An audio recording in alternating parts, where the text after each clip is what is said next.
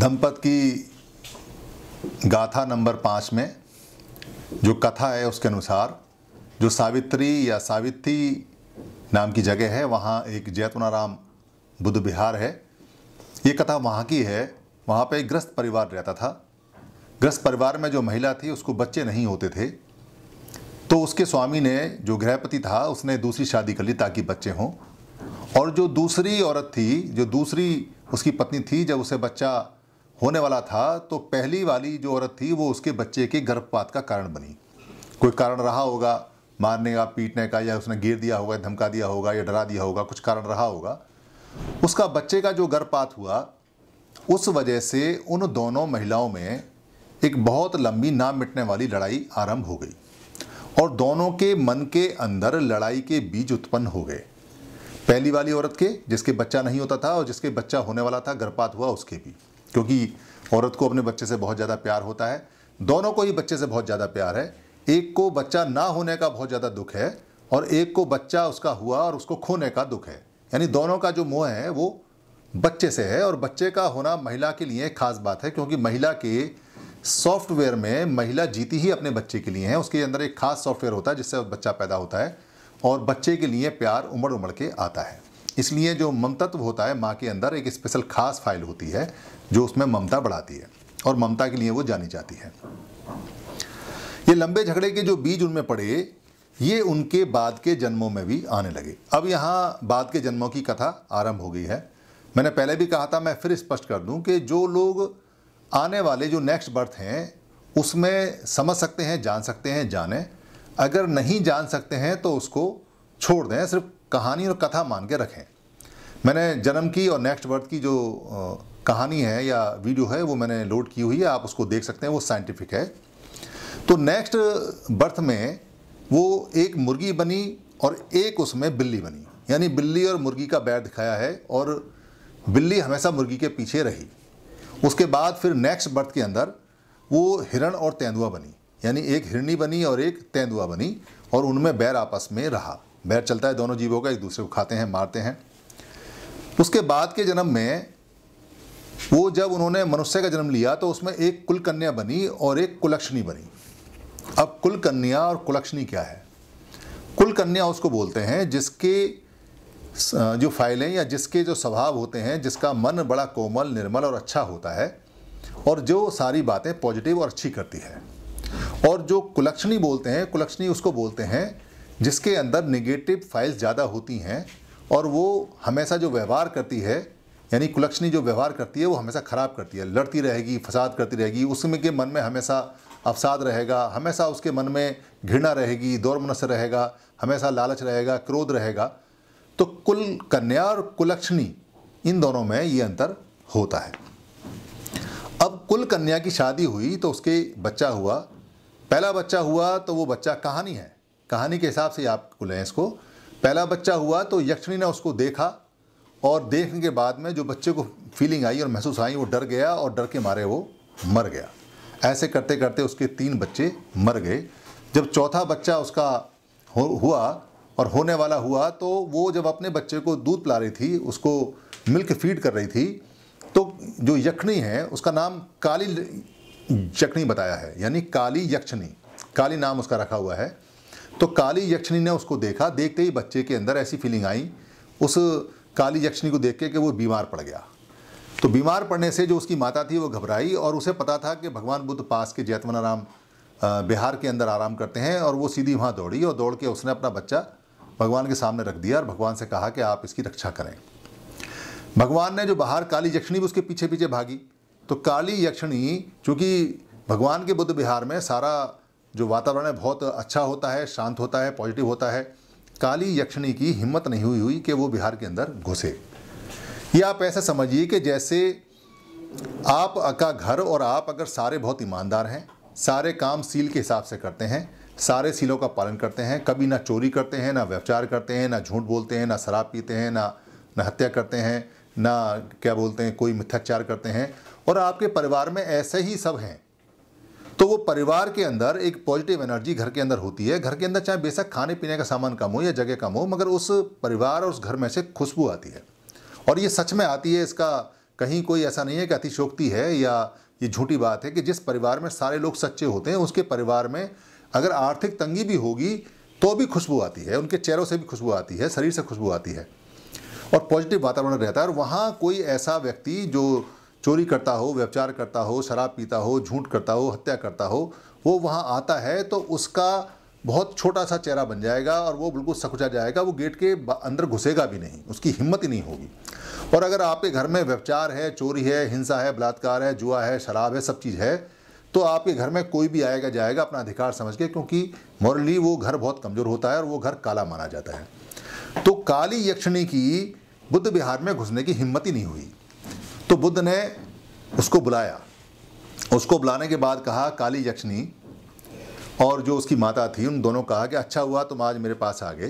क्योंकि भगवान बुद्ध पारगामी हैं और पारगामी होने के कारण से वो सबकी फाइलें रीड कर लेते हैं क्योंकि वो जो अणु और परमाणु हैं, उनकी वाइब्रेशन भी वो रीड कर लेते हैं।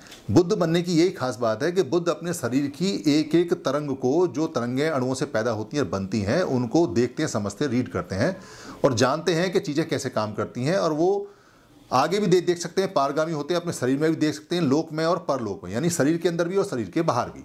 और औरों की फाइलें भी पढ़ सकते हैं, औरों का सॉफ्टवेयर भी पढ़ सकते हैं। ये खास बात होती है बुद्ध के अंदर।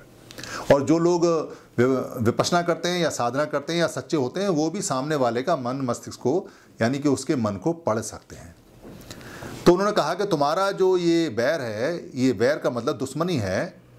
वैर में दो मात्राएँ नहीं है, ये ये ध्यान रखना, पाली के अंदर कहीं भी दो मात्राएँ नहीं है। ना औरत वाली दो मात्रा है, ना वैर वाली। तो वेर बोला है, जो वेर है तुम दोनों के अंदर, ये आज अगर तुम यहाँ नहीं आती तो ये समाप्त नहीं होता। तुम्हारा वेर तब से तब से चला आ रहा है, और अब इस वैर को तुम समाप्त कर दो, क्योंकि वेर से वेर, यानी कि जो वैर से वैर, दुश्मनी से दुश्मनी कभी भी समाप्त नहीं होती। ऐसा कहने के बाद में उन्होंने एक गाथा कही। क्या गाथा कही? न ही वेरेन वेरानी समन्दीत कुदाचनंग एवेरेन चे सम्मंती ऐस धम्मो सनंतनो। यानी न ही वेरेन वेरानी। न माने नहीं, ही माने वास्तव में निश्चय, वेरेन माने वेर से। यानी कि दुश्मनी से वेरानी माने दुश्मनी। यानी दुश्मनी से दुश्मनी समाप्त नहीं होती। समन समन्तीत समन्तीद कुदाचनंग। समन्तीद माने सम्मत माने शांत होना। कुदाचनंग माने कभी, यानी किसी भी समय, किसी भी समय, यानी कभी भी वैर से वैर, दुश्मनी से दुश्मनी शांत नहीं होती। एवेरेन चे सम्मति अगर आप एवेरेन करोगे, यानी कि एवेर करोगे, आप अगर झगड़ा नहीं करोगे, दुश्मनी नहीं करोगे, चे सम्मति और तब जाके सम्मति शांति होगी। ऐस धम्मो सनंतनो। ऐस धम्मो सनंतनो का इन तीन शब्दों का जो इस्तेमाल है, वो जो आपने देखा होगा कि ओशो ओशो की जो किताब है, ओशो की मशहूर किताब, क्योंकि ओशो अपने लास्ट के दो साल में बुद्ध की तरफ़ पूरी तरह से आ गए पहले तो नहीं आए, मगर लास्ट में उन्होंने अपना समर्पण पूरा बुद्ध की फिलोसफी के लिए किया। और ऐस धम्मो सनंतनो करके उन्होंने कई सारी किताबें निकाली। तो ऐस धम्मो सनंतनो उन्होंने यहीं से शब्द लिया है। यानी कि ये जो धमपद की पांचवी गाथा है, इसकी जो लास्ट में है, ऐस धम्मो सनंतो। ऐस का माने यह है।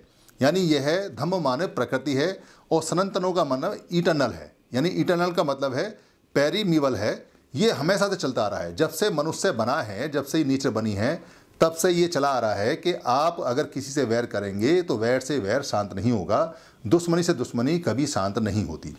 ये कहा उन्होंने कही, ये कहानी उन्होंने बताई। एक तिब्बत के अंदर भी कहानी चलती है।